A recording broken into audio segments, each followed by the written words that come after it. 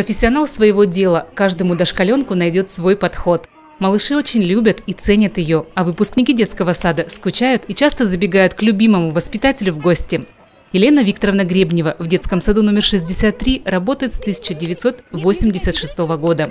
С самого первого дня открытия этого детского учреждения. Героиня нашего сюжета родилась в творческой семье и всегда мечтала работать с детьми. Став взрослой, ее мечта сбылась, стала смыслом жизни. Мы в детстве, мы всегда рядом с детьми, это эмоции положительные. То есть если даже а, настроение бывает не очень хорошее, дети его обязательно поправят. Обязательно. Это настолько интересно. Это вот, знаете, это просто очень интересно жить в их мире. Может, я все еще не наигралась, может, я еще и из детства не вышла. Но вот с ними очень интересно, с ними возможно все. Особенно, когда детишки подрастают, но у каждого возраста свой интерес. А когда они подрастают, становятся вот уже старше, и мы можем путешествовать, что-то делать, какие-то проекты запускать, что-то вот творить, что-то узнавать. Это настолько интересно. Ну вот в этом живешь и радуешься.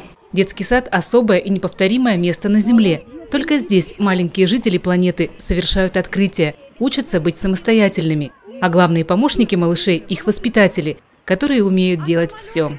Надо, наверное, уметь все. Если не можешь творить, ну, вокруг тебя будут люди, которые будут это делать, и ты их будешь организовывать. То есть, ну, мне вот это близко, очень это нравится, я это люблю. И с детишками вот у нас мастерская, но пока еще, поскольку дети только-только собрались, она еще не очень наполнена. А так у нас здесь очень весело. И родители приходят творим вместе а, в свободное время. И, ну, это очень интересно. Елена Викторовна много лет в дошкольной педагогике. Постоянно находится в творческом поиске. А своим богатым педагогическим опытом щедро делится с коллегами. Елена Викторовна – это очень творческий человек. У нее золотые руки. Вот за что бы она ни бралась, э, все превращается в какой-то шедевр.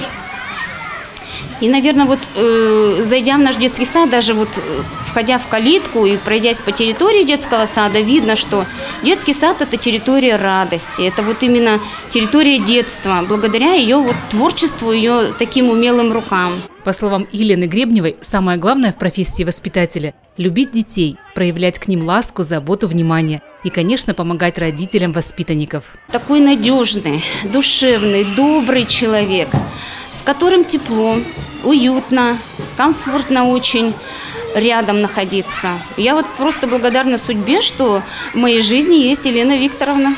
В этом году Елена Гребнева награждена почетным знаком «За честь и достоинство».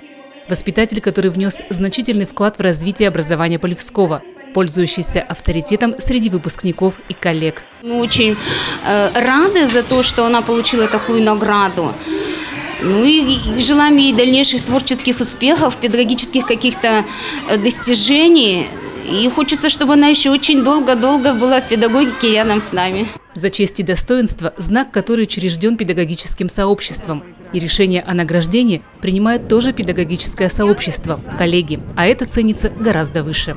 Отношение к этому знаку очень трепетное очень такое теплое, по-хорошему, э, правильно, потому что, ну, это еще раз говорю, это признание твоих коллег, а это дорогого стоит. Наталья Вишнева, Сергей Чижов, новости 11 канала.